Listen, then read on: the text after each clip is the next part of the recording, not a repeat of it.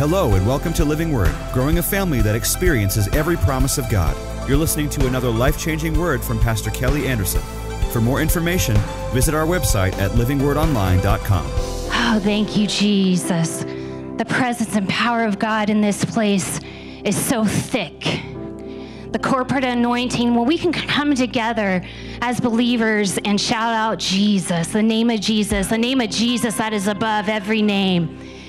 You know, the Bible says in, in James 5:16 that the effective, fervent prayer of a righteous man availeth much.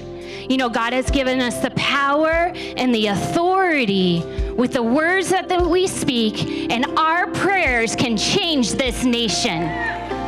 It can make a change right now as we come together into agreement. And so I think that's what we should do right now we're going to come into agreement for our nation. So let's just extend our hands to our nation right now.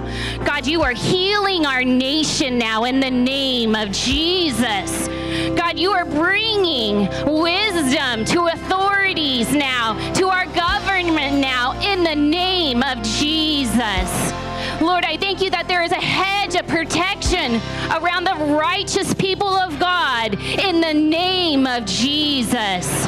Lord, I call down any confusion now in the name of Jesus over our nation now in the name of Jesus. And Lord, I thank you that you are bringing unity to our country.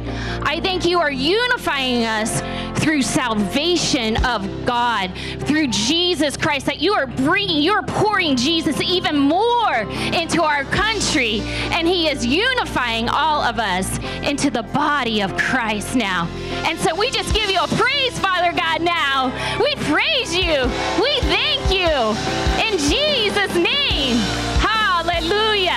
Let's just go into that